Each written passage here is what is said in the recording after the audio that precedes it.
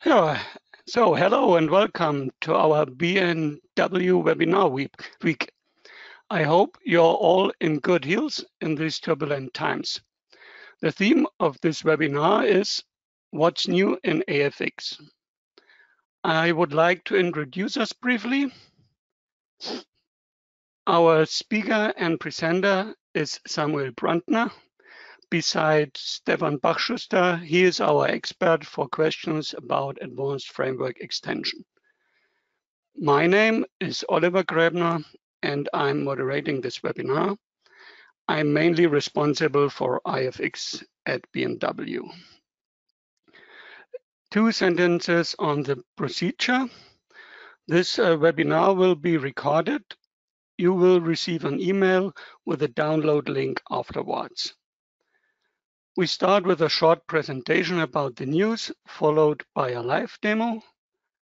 During the webinar, you can ask questions using the question function. Okay, with this, I hand over the floor to Mr. Brandner and wish you an informative presentation. Thanks, Ollie, for the nice introduction. And um, yeah, I will like to show you some of the new features of AFX. Uh, we start right away. So um, one of the new features that we introduced with Creo 6 and AFX 6 is the verify project dialog. So this dialog will help to identify and resolve issues with the profile length calculation. So it is possible to define um, joins on uh, reused locations of profiles that will lead to different results. And uh, it's very hard to find those issues in a bigger assembly. So we decided to create a tool to help you find and resolve those issues. Uh, later on in the in the live demo section, I will also show you this. Then one uh, quick feature we introduced um, is the marking of these arrows where the profile starts. So this will make it easier for you to uh, reassemble existing profiles on a different curve and uh, maintaining the same orientation as the original beam. To illustrate this, I created a little video so you can see I create a sketch from left to right and then from right to left and then assemble a beam on this. And you can see the top one points to the right and on the bottom one it points to the left. So with this little enhancement, we make it very clear in which direction the beam is, is pointing. So you can always reuse the beams the right way. And the next big topic is uh, the new configuration options we introduced with um, AFX 6 and also AFX 7. So as you all know, AFX is uh, embedded in Creo, in the Creo main version. And also with the subscription license, you will have an AFX license. So many customers now have access to AFX. And this may, makes it very important um, that you can define a global configuration and also customize your library and uh, even use custom translations. And when you update your Creo main version, you don't want to lose all your settings. So we allow you to store this all on a network drive, for example, so you won't lose your changes after updating your Creo version. So this is uh, it for the uh, PowerPoint presentation, and I will now jump into the live demonstrations. so here I have a little demo assembly. I already created some, some issues. So when you, when you press generate, you can see um, I have some kind of endless loop here. And this is caused by multiple definitions of joints. So when I open the verify project dialog, you can see this is a tree representing all the beams that are assembled in the, in the current assembly. And I can also filter the tree to only show the failed items. And as you can see, this beam here is assembled three times and uh, it has different joint definitions. So this is an attached surface joint. and it would lead to a calculation of minus 9.5 and uh, the actual value is minus 8.5. So what is causing this? So if we zoom in on this area here, you can see we have a little offset here between the plate and the beam. And this is caused because there are two identical plates and the third plate is a bit thicker. So this will cause an issue because this beam is reused three times. So we can resolve this issue by just replacing the beams um, by a copy of itself. Quickly do that here. All right. And now when we go back, we can regenerate and update the tree. And you can see the issue is now resolved. So there's one remaining still. So um, you can see here, this beam is also assembled three times. And there are two, two different joints um, defined. So one is attached surface that would cause um, calculated value of 200. And this one is causing a calculated value of zero. And this is also the actual zero, uh, actual value. And now I can, uh, within the dialog, I can, okay, I can say, okay, I want to delete this joint here. And I delete it, okay. Regenerate the assembly, update the tree, and now all the issues are resolved. So there are no more failed items here. You can also see this uh, handy overview here, total items, reused items, and failed items. So this is now back to zero. And if I close the dialog and regenerate one more time, you can also see down here that the regeneration icon is gone. So that's it for the verify project functionality. Um, just a quick reminder, if you have any questions at any given time, just feel free to ask them. So the next one is the options dialog. So this is regarding the global configuration. As you can see right now, I'm, my config directory is set to uh, my documents folder. So this is the default behavior we um, implemented in Creo and in AFX, because usually when you install Creo or install uh, AFX standalone version, um, your your setup directory will be in the program files folder. And as of Windows 10, it was introduced that you no longer have writing permissions in, inside of these folders. And if you just let it like this, you wouldn't be able to change any configuration option. So this makes a lot of sense if you are a single user, but for a multi-user environment, you of course want to put a general configuration um, in a network drive, for example, as I mentioned. So how do we achieve that? First of all, I need to close down Creo and go into my prepared folders.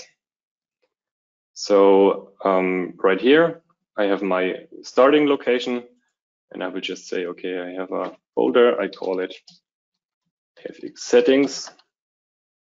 And this folder will store all my configuration options from now on. So I go here into, this is where AFX is installed um, I copy the configuration and the customization folder, copy it over to here. And now if you go inside the configuration folder, you can see there is the AFX options XML file. So this is the one that is controlled with the dialog inside of Creo. And also one important file that you should always customize if you create an instance of your own configuration is the start model config file. So this file controls parameter names, feature names, views, material settings, and so on and so on.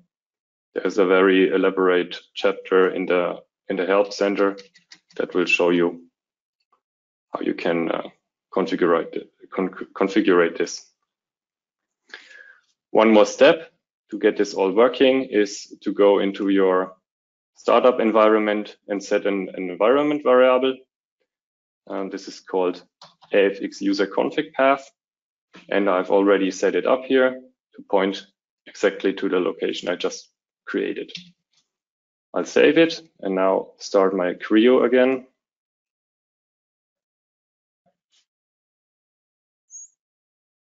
Uh, Sam, can this uh, variable also be set in system environment or only in startup script?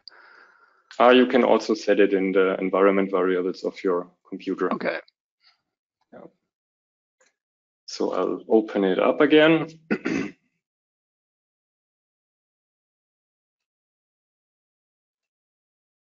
and now you can see that the directory I'm, I'm looking at is the configuration folder I just set up. So the next step to further customize your AFX installation is the possibility to define a customization path. You could also, also define a library path, but that would mean that you will copy all your parts from the default installation into your custom library path and no longer receive any updates if we fix errors with models or tab files inside of the default configuration. So we highly encourage you to just go ahead and try out the customization path option. So I will just set it up. I already copied it into the AFX settings folder. There you go. And okay. So now that this is stored, I can go ahead and customize my library to my choosing. So I'll just go ahead, go inside the folder. And the first thing that I want to do is probably have a custom relations file to give my parameter names like naming or outline or length a uh, certain name that is the standard in my company. So I'll quickly go ahead and create a parts folder. And you can also copy the names from the original folder. So I need a folder profiles. Open that up. And now there's already param relations file present here. And I will just copy it over. So I will only change this one file. And if it's set correctly in the customization uh, folder, it will overwrite any other files that exist in the regular parts folder. So all changes applied in this folder will have higher priority. So I now edit this, naming, I say naming two just for illustration and designation, I will call outline. Just you, you can see what it actually does. So now when I go back to Creo, hit the options and OK, when I do this, the library is initialized new. So the changes should apply immediately. All right, go ahead, place this. And now when I open this parameters, uh, you can see here naming two, outline, and length. So these are the, the three parameters that would, uh, were created by changing this one file here. All right. So another thing that customers like to do is to limit the amount of tables you can select for a certain beam. So I'll just quickly do that. Create a steel beams millimeter folder here. And let's just go ahead and take this iBeam tab file. So I only need to customize this. So I only copy this. The only case where you need to copy multiple files is when you have, for example, a part file and a drawing file, then you would need to copy both of them. Or if it's an assembly, you also need to copy all the children of the assembly. They kind of exist um, one in the customization folder and one in the original folder. So you have to copy all related parts. Now I'll edit this one here as well. So let's say we only want to have uh, the DIN standard in here and don't care about British and African and whatever. So we can just remove them here. And let's, for example, also say for the IPE beam, we only have in our uh, company until um, 200. So we don't need the rest. Can just erase them as well save that file, go back to Creo, update the library, and, ah, sorry. Uh, that was not so good. I have to reselect it. Yeah. So now I, when I reopen it, it will be re-initialized. And now I only have the, the DIN formats here present. And also for the IPEB, it only goes to 200. This is the maximum. All right, so far for the profiles. Now I'll jump ahead and do some connectors as well. So we go back to our parts folder, create a folder connectors. All right. Now for connectors, um, let's say in our company, we only need steel construction millimeter and Bosch. Uh, so we don't care about the rest. Um, then we can quickly create a cell list here. So selection list, so to speak, and then just add steel construction millimeter, here for directory, and Bosch. Save that file again. Go back to our folder, update it one more time. And now when I go back here, I only see steel, steel construction millimeter and Bosch. Okay, so now we want to customize, for example, an end plate. So this end plate is needs special requirements in our company, so we need to change it. And I go back to my folders, create a folder here, uh, just copy and paste, easier. All right, then we also need no standard. All right. And now we want the end plate. So I'll just copy all the files this time. All right, copy, paste. Now I could change whatever I, I like. So uh, open the part file, change something in there, open the tab file, change something in there, and it will all be taken from this directory. Now to illustrate this, I'll just quickly add some annotations here. Let's just say here custom.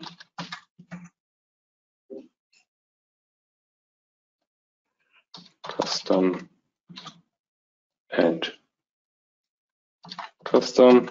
All right, save it, close it, and go back to Creo.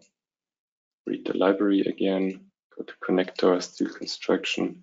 And now you can already see this now has the custom tag above it. And when I assemble it, it also this one here, custom, and the settings image also has this custom.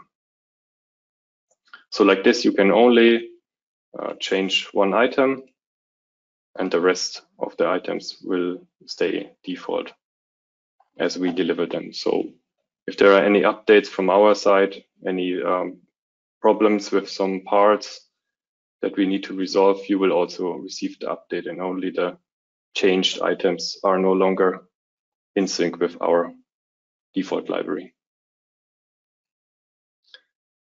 Good. So the next thing I wanted to show is regarding Bosch connectors. So let's go back to connectors, create a folder Bosch. So let's say, for example, if I switch back here, um, in the Bosch library, these are all the standards. And in your company, you also have some elements you created on your own and you want to have them right here in a subfolder. This is also very nicely possible. You just create a new cell list. And this time it's extend. So extend means it will extend the cell list that uh, is in the original folder. Uh, wrong one. So connectors, Bosch. So this cell list here will be extended by this one and I will just create a new folder here, call it custom. And now when I go back to Creo and reinitialize the library, open this again. Uh, did I miss, did I save it? Ah, I didn't edit it. Yeah, sorry. Yeah. Custom dear this. Okay. One more time. Then you will see we have the custom directory right here. So now let's also place something in there. and this is also a very common use case for many customers. So we take this connector here, copy it over to here. And now many customers, so these parts are not copied each time you assemble them like profiles or um, um, no standard um, connectors, but they they have a fixed name. So they have also a fixed name in inside of Windchill. So, and for this example, I will just rename this um, to a Windchill number that might be existing in your system. And now create a cell list also. And call it part because it's a part. And now when I go back here, update and select this, then you see you have the, the Windchill number right here. This is not very intuitive for the people that are designing. If you have a, a bunch of Windchill something something in here, so there's also a way to get around this. Uh, for this, uh, I need to, yeah. Uh, Sam, uh, the file, the part file, uh, if it's, located in Windchill, then of course it must must not be in the library, correct? Yeah. This is yeah. only for example. Yeah. Okay. Then it will be automatically loaded from Windchill, right? Yes. Yes. Yes. Okay. Yes. Thanks. Um, okay. So for this, I I, I want to customize this text here, and for this I need to close down Creo and restart. And then I'll just go ahead and go back to my customization folder. And as you can see, there's also a text folder. So we are right now in English language, so we have to go here and there is a AFX custom text file. I will open this and you can see right here, um, so it has a, a, message ID. So this is my Windchill number. And then there's an English string and a localized string. So if you want to give this file out to a localization office, then you can put in here the English string and tell them, okay, I need this in German, in French, in Italian, and so on. And they can just localize it for you. But in this case, we only have the English. So to call this quick connector. And this is 88 type A. Oh, type, okay duplicate the line, save it, and then restart our Creo application.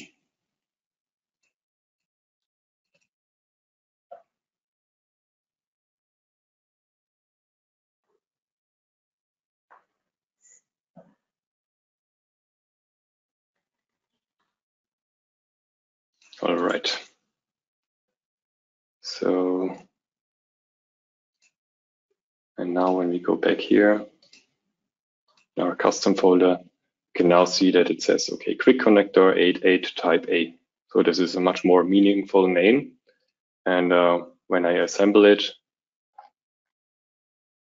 right here, it will of course have the name Windchill, blah, blah, blah. But this is a very good way to customize the look and feel of your library. now, some can, could mention that they also want this for, for their other library parts that are used out of the default. So this is also possible, but you have to make sure to use the right name because some of them, the names are already localized from our side to make them translated from German to English because uh, initially we created the library parts in German, so they are actually translated to English. And in this case, you need to figure out the correct name of the element. And if you go in here, you can see that it's called SV88A. So I'll copy this and also update this here. It's the same element, so we can give it the same name. Quick connector, quick connector. save this one more time, then restart the application one more time.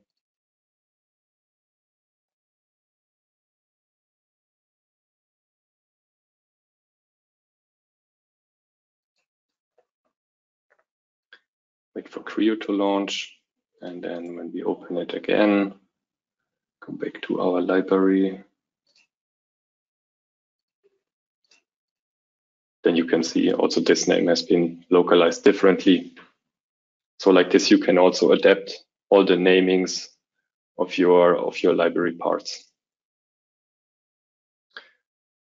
All right, I think that concludes my presentation. Do I have anything else? Let me check. Uh, no, that looks good.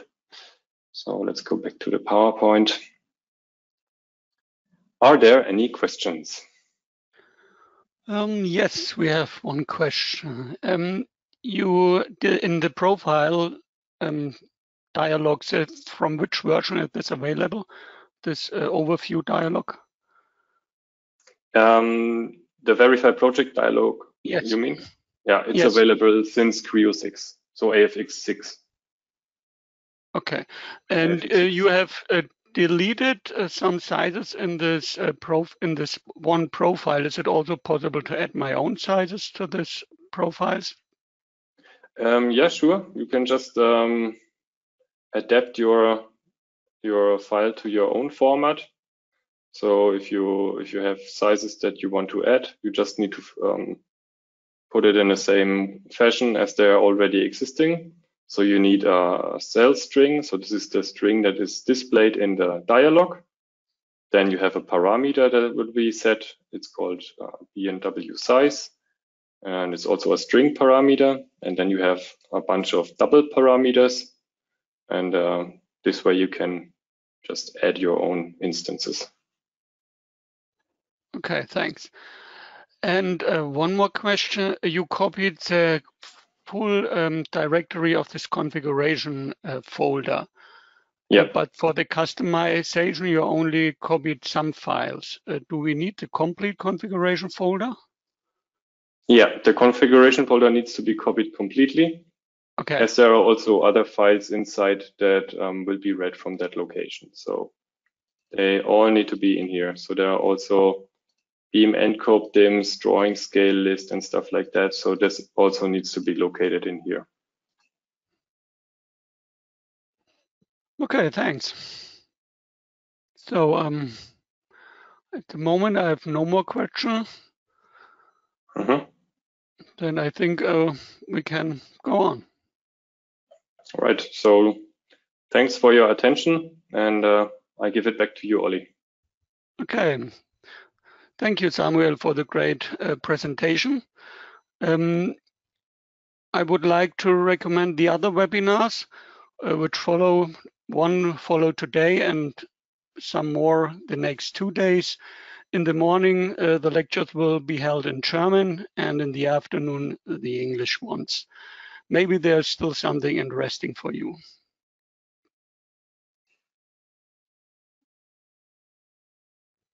Okay, um, then the some information about contacts. You can, if you want, you can draw your attention to the to our. Oh, sorry, start again. I would like to draw your our your attention to our newsletter, which will keep you up to date with news about our products and events.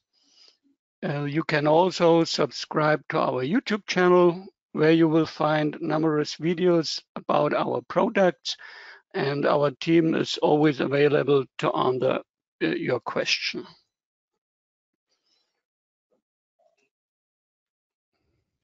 Okay, um, maybe we have one last question. We are, I think we have uh, some time, Sam.